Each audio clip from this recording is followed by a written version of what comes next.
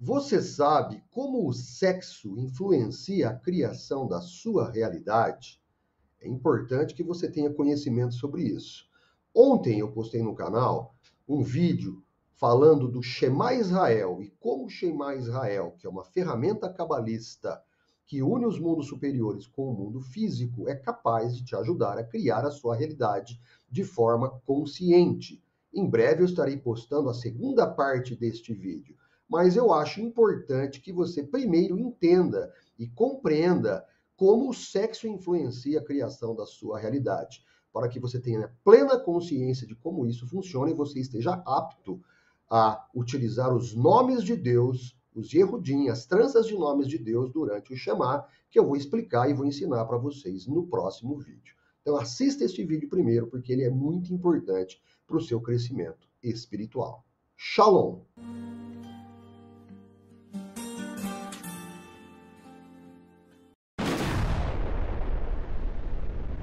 Por outro lado, você tem a parte feminina deste anjo, que é o nome que eu coloquei para vocês ali. A missão dessa parte feminina, pessoal, é na verdade fazerem os homens perder o sêmen. É ter uma vida sexual desregrada. Por que isso, pessoal? Como eu já comentei em outros vídeos, o que, que acontece? O sêmen, ele plasma o poder da vida. O homem, ele se assemelha ao Criador em duas coisas: poder da palavra, que tem um poder de criação. Quando você fala algo negativo sobre a sua vida, os anjos negativos pegam esta palavra e materializam isso na sua vida. Então, se você fala algo negativo, a hora que você percebeu que você falou algo negativo sobre a sua própria vida, sobre a vida de terceiro, de outra pessoa, faça uma bênção, diga Baruch Hashem, Bendito seja o nome, e visualize o tetagrama na sua mente, que daí você anula essas palavras e não deixe os anjos negativos pegarem essas palavras para materializá-las em eventos negativos na sua vida e na vida de terceiros, pessoal. Agora, a questão do sêmen da sexualidade é muito importante. Por isso que a circuncisão, que é Brit Milá, ou seja, o pacto ou aliança da palavra, mas ela foi feita no prepúcio. Por que no prepúcio, pessoal? Porque o sêmen do homem, quando ele sai, ele plasma o poder divino de dar vida, o poder da imortalidade, com força que vivifica todas as coisas. Então, isso foi feito para gerar uma nova alma, para gerar uma nova, um, um, um, uma nova pessoa que venha ao mundo também habitar conosco. Quando o sêmen não é, não é fecundado no espermatozoide, esse poder que ele desce, ele se transforma numa alma que desce sem um corpo.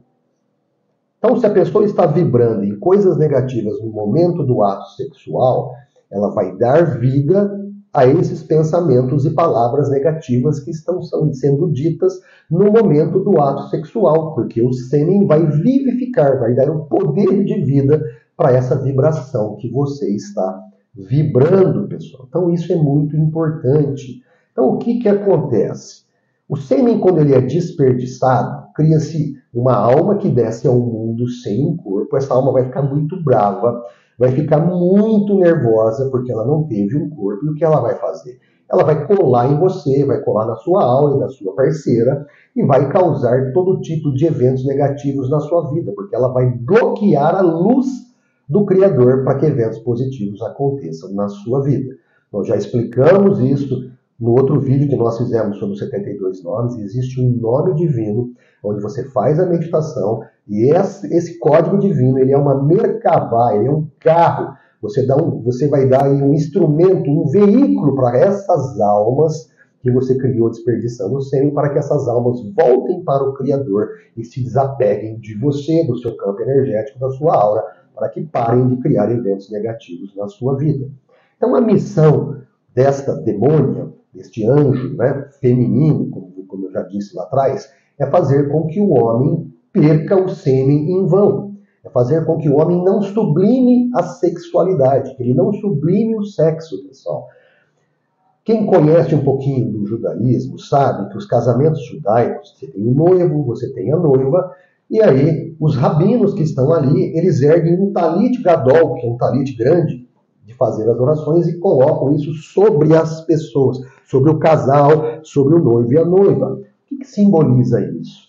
Simboliza Deus na relação, simboliza que o casamento é um casamento a três: é o macho e a fêmea, o homem e a mulher e a presença divina. Por quê? Quando esse casal for ter relações sexuais, neste momento, se eles não fecundam um filho, a energia divina que desceu do poder da criação ela vai se transformar num evento na vida das pessoas, do casal. E esse evento vai ser positivo ou negativo, dependendo do que as pessoas estão pensando e estão falando no momento da relação sexual.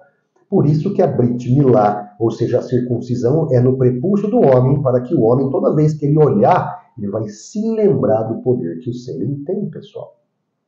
Então isso é muito sério. E existe um oponente espiritual, essa força negativa feminina, tá certo? Que levam as pessoas para a prostituição, para a masturbação, para uma vida sexual desregrada, onde essas pessoas estão criando, criando eventos negativos na sua vida por essas almas que estão descendo sem corpo, pelo desperdício do sêmen. Quando eu falo desperdício do sêmen, pessoal, o sêmen foi feito para ser depositado dentro da vagina da mulher. Quando ele é feito isso, o que acontece? Ou você gera um filho, ou você gera um evento. Ok? Agora, quando o sêmen é tirado para fora, o que, que acontece? Esse sêmen sai e essa energia vital é a energia que vai alimentar a citrarará. É a energia que vai alimentar o lado negativo. É a energia que vai alimentar os demônios ou os anjos negativos. Eles não recebem energia do próprio Criador. Eles roubam a energia do ser humano através do sêmen desperdiçado para que eles possam sobreviver. Por isso que a sexualidade ela está tão corrompida como está. E estão fazendo crescer cada vez mais e fortalecer cada vez mais o outro lado. E tudo isso gera eventos negativos no mundo, com guerras, com caos, com brigas e com todas as disputas e injustiças que nós vemos. Porque as pessoas estão fortalecendo o outro lado com o derramamento de sêmen em vão, pessoal. Então isso é muito sério. E isso, esse é o objetivo e a missão deste anjo feminino negativo. Ele incita nas pessoas essa sexualidade depravada sem a presença divina. Porque o sexo foi criado, pessoal, para que quando um homem e uma mulher estão juntos dentro das leis da luz, dentro dos parâmetros e conceitos da luz, ou você vai gerar uma criança, uma nova alma que você traz ao mundo, ou você vai gerar um evento na sua vida. Então, o povo de Israel, tendo conhecimento disso, eles colocam a rupar, o noivo e a noiva, quando vêm a rupar, eles têm plena consciência desse ensinamento que eu estou trazendo para vocês, de como as coisas funcionam, qual o poder que está no sêmen. Então, muito cuidado com a sua sexualidade. Quando você usa mal a sua sexualidade, você está baixando almas que vão colar em você, almas sem corpos, e vão fazer um tampão entre você e a luz, e muitos eventos negativos vão surgir na sua vida. Mas Baruch Hashem, que existem os 72 nomes de Deus, onde você tem consciência disso, onde você quer consertar e observar daqui para frente a sua sexualidade para fazê-la de forma adequada, para que você realmente possa criar eventos positivos na sua vida. Então, as pessoas que têm conhecimento da Kabbalah, quando eles vão fazer o ato sexual, eles colocam Deus na jogada. O que significa isso? Em vez de ficar pensando besteira, em vez de ter uma relação sexual violenta, com embriaguez, com uso de drogas, etc., etc., uma, uma sexualidade animal, somente do ego, eles elevam a consciência e trazem a espiritualidade para este ato sexual, aonde, como eles sabem que eles vão criar um evento, se não fecundar um feto ali, uma criança, um evento vai ser criado na vida deles. Então eles meditam nomes de Deus durante a relação sexual, para que aquilo que eles estão vibrando, que eles estão visualizando na mente naquele momento, seja esta energia que seja potencializada pelo poder da vida do sêmen, que vai criar um evento positivo na vida deles. Então eles direcionam a energia para onde eles querem, criando eventos conscientes e positivos nas suas vidas. Então, a missão desta demônia é não fazer que você tenha conhecimento dessas coisas, que você desperdice o seu sêmen, que você continue nesse ciclo vicioso, cada vez mais criando mais almas negativas que colam em você e trazem todo tipo de mal e desgraça no mundo, pessoal. Então, essa é a função da demônia. E a função do demônio principal, como a gente falou aqui desse anjo, é te alejar do conhecimento dos céus, do conhecimento dessas coisas, para que você possa se posicionar. Aí você deve estar se perguntando o que tudo isso tem a ver com Gog e Magog. É uma pergunta válida, pessoal. Por que, que eu disse tudo isso? Porque, na verdade, Gog e Magog, pessoal, é uma guerra pela sua consciência.